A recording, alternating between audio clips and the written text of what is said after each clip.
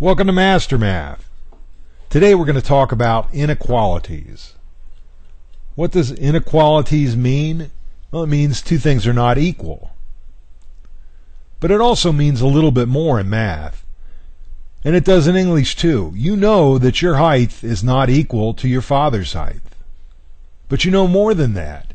You know your height is less than your father's height. Well, in math, we can express that with symbols. This symbol means greater than or more than. This symbol means less than. This symbol means greater than or equal to or at least. And this symbol means less than or equal to or no more than. Now this is the greater than symbol. And it's a little bit confusing.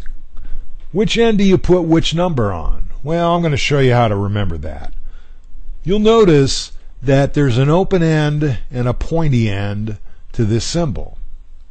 And you need to remember that the larger number goes at the open end. And this is the larger end of the symbol too. So the larger numbers at the open end, the larger end the smaller numbers at the closed end or the smaller end. For instance, 6 is larger than 4, and the 6 is at the larger side of the symbol. Now I can shift things around. I could put my larger number on the right and my smaller number on the left, but if I did that, I'd have to reverse my symbol so that the smaller side of the symbol was towards the smaller number and the larger side of the symbol was towards the larger number. This guy had a great day fishing. He caught a lot of fish, and all the fish weighed at least 22 ounces. Well, could we say that mathematically? Could we convert that into an inequality? If we did, there'd be some advantages because then we could use our math tools to manipulate the expression. And you'll see later in math how that works. But yeah, I can write this as a mathematical expression. The weight of all the fish was greater than or equal to 22. W was greater than or equal to 22.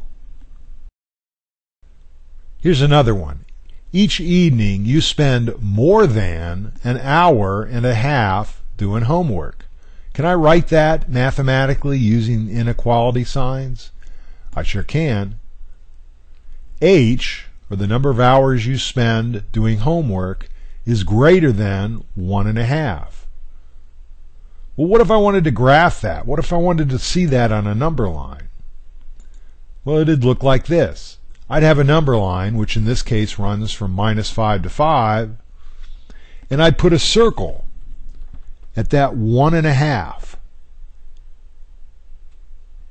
And I'd draw an arrow in the direction of all the answers that would be in the solution set. Everything that satisfies this expression, h is greater than one and a half, is symbolized by that arrow heading in the direction of larger than our circle at one and a half.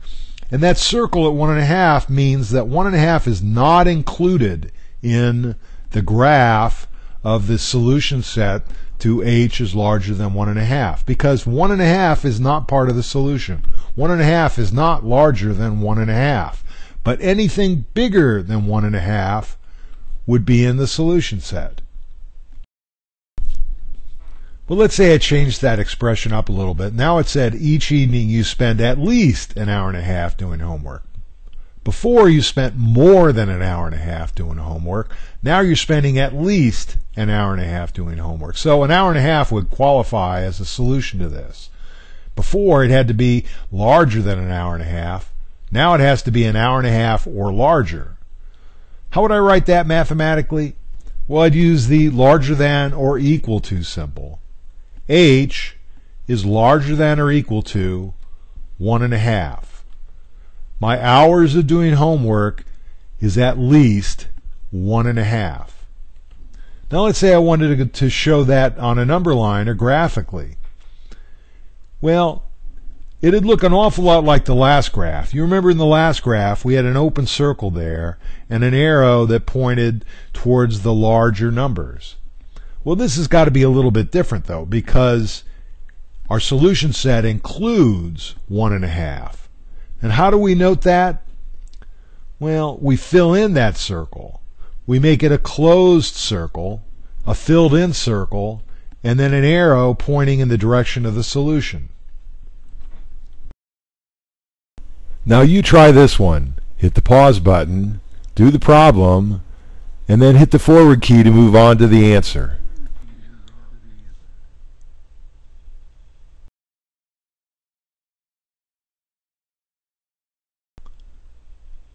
A number z multiplied by 3 is less than 8. A number z multiplied by 3 is less than 8. It's a simple translation.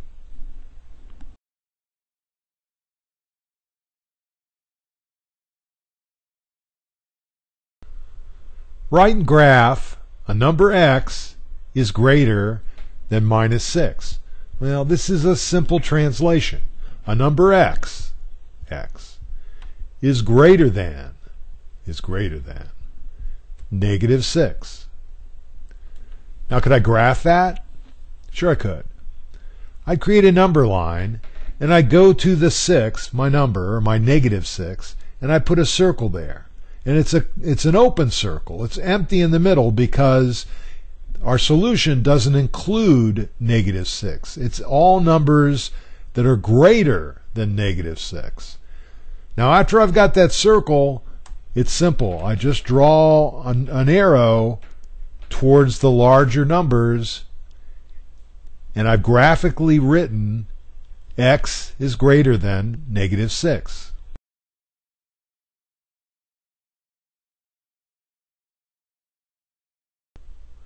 Write and graph. The speed limit on Highway 25 is 65 miles per hour. If S is your speed, write and graph this inequality. Well, that's kind of easy. S, S has to be less than or equal to the speed limit of 65 miles per hour. Now, how would I graph that on a number line? Well, the first thing I have to do is pinpoint that 65 because we know everything starts at the 65. And I'm going to fill in the circle. I'm not going to leave it open because 65 is included in our solution set. And then I'm going to draw an arrow in the direction of all the solutions, all of which are less than 65.